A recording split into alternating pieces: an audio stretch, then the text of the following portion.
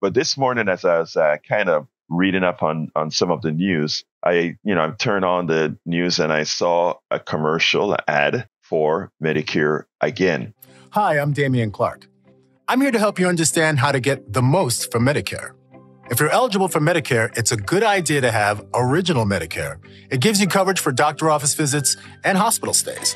But if you want even more benefits, you can choose a Medicare Advantage plan, like the ones offered at Humana. Look, let me be very, very clear. There, there are folks who take Medicare Advantage because they have to. There are folks who've taken Medicare Advantage because at the time they were presented with a good plan. And I'm not saying they're not good Medicaid advan- Medicare Advantage plans. There are, but do remember that all these plans are transient. They are temporary for one year. Ask yourself a very important question. If you don't take traditional original Medicare, why, and you chose a plan that you like that is working perfectly for you, why is it that every single year you have to re up your plan, right? With the original Medicare, you sign up for you sign up for Medicare to let let Uncle Sam know you're 65 older and now you are on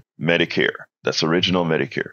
When you sign for that, you're done. Finito, terminado. You never have to do anything again. At that point, the government says, we'll be paying 80% of all your bills, your medical bills. And if you happen to get Part D and uh, what's called a Medigap program, that private insurance covers the other 20%. If you don't get a Medigap, you are responsible for the 20%. And a dirty little secret is a lot of doctors understanding that most are in dire straits. They won't bug, they'll keep that 20% on the books, but they won't bug you about it. And the other thing again is that we're getting a law passed that will prevent Medicare medical debt to appear on your on your credit report. And let me tell you something. I don't even feel guilty about telling you that because our healthcare is overpriced by more than 20%. So that be that's what it's be. Now, now here's the thing. Medicare Advantage, you have to re-up every year because that good plan that you have today, next year, if they didn't make a profit in that plan, they could either change it, transition it, or end it. So you are every year having to hope that the plan that you are in is good. And if you're in a good plan today, remember something else. A lot of people are going to want to be in that good plan. And eventually, all the people in these plans get sick and sicker as we age, which mean by definition, unless you die, that plan over time will eventually start losing money. It's it's a Ponzi scheme of economics. All right. So those are those are statements of fact that I just gave you that you can figure out why am I saying this now? I'm watching TV and I see this commercial comes on. And they all know that there's a lot of us out here now really talking about original Medicare and to stick with original Medicare.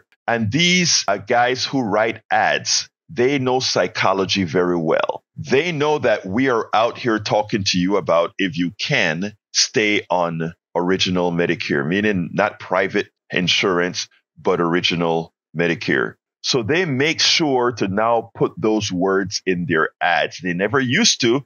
They used to make you believe that Medicare Advantage is Medicare. Medicare Advantage is private health care that is paid for with your particular original Medicare dollars plus about 20% more. In other words, it, the government gives these private companies an extra bit of money. Now I digress. So the new ads that are coming out now says, Hey, when you become 65, you qualify for original Medicare and Medicare, original Medicare is good. Then they, they, they pause and they say, but if you want additional benefits, go to Medicare Advantage. Now, if they were honest, they would say Medicare Advantage, I mean, Medicare, original Medicare is good, but if you want additional benefits, get Medigap with hair, hearing, with, with hearing, eyes, and, and, and dental, right? Because you would keep your original Medicare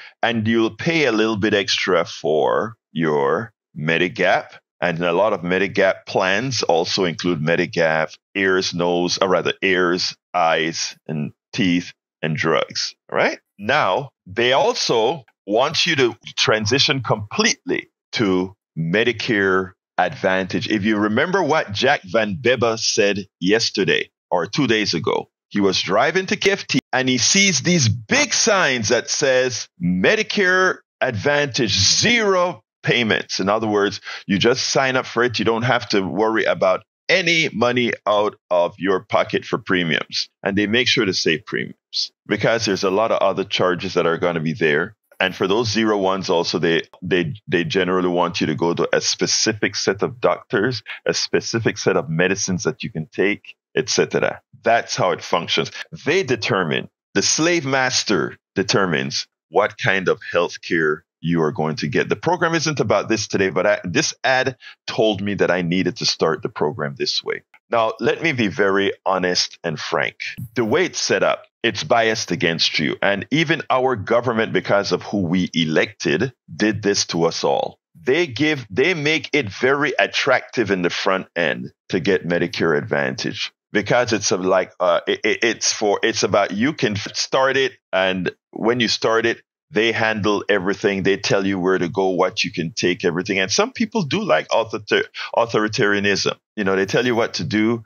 And if for some reason they don't want to treat a cancer, if they don't want to treat something, they tell you, we just won't do it. It's not in your plan. If you want it, you pay for it out of pocket. Otherwise, bottom line is this, folks. There are some people that have no alternative other than to take Medicare Advantage there's and that's that's just the unfairness of our med, our healthcare system. Some people just don't have what it just don't have what its Medigap is going to cost. And if they want to get that 20% drugs and, and other things, that's what they have to do. Others think they're getting a good deal because they found a good, good Medicare Advantage plan that works out perfectly for them for that particular year. But if you're looking for insurance for the, and by the way, another thing, when you have Medicare Advantage, if you try to get back to traditional Medicare after you get sick, you have to go through the process again. Uh, I don't remember what the authorization process is. And it could be that your Medigap is completely unaffordable. So it's a decision when you make it up front that would follow you for life. And specifically, if you get sick and try to transition back to Medicare Advantage, our government, because of the bribes they take from the health insurance industry, makes it very, very difficult to move to it. So I'm, I'm, I'm just telling you, this is a period where there's a this new sign up for Medicare for all of you who are transitioning to 65 years old. Look at all these features, open eyes, and whenever you're if you if you if you listen to me and decide that you're going to stick with original Medicare, which is what I I mean I am not a healthcare person, but this is an advice that I can give you 100% feeling, 100% uh, sure about what I'm saying. If you decide that you want original Medicare, even after deciding that these these salespeople are very deceptive in having you sign up for Medicare Advantage anyway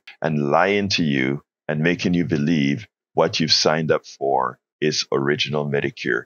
You have to be sure to tell them you're going to tape them. Um, is this original Medicare and not Medicare Advantage? And take your cell phone out and tape their answer so that if you find out later on something is wrong, say this was done fraudulently, and we report it to the insurance commission in Texas or the insurance commission wherever you are. But don't allow these charlatanes, these hooligans, these Trump like lying folks to let you make a decision that will affect you negatively for the rest of your life. This is advice, folks, that you can verify, and please do as well. You can verify everything that I've just said. You don't have to take what I've said blindly. But my goal here is for us to make the right choice we spend a lot of time deconstructing the news, trying to trying to parse it into a form that everybody can understand. We try to find those little nitpicks where uh, it goes, it flies above the fray, etc. If you really like these videos that we do, I want to ask a big favor. Please go ahead. Number one, subscribe to our channel, and number two, please join if you can. Thank you so kindly for watching. Keep watching. Please remember to share. We must populate the entire internet with our progressive message, a message that we know is what most Americans say that they want. So help us, please join.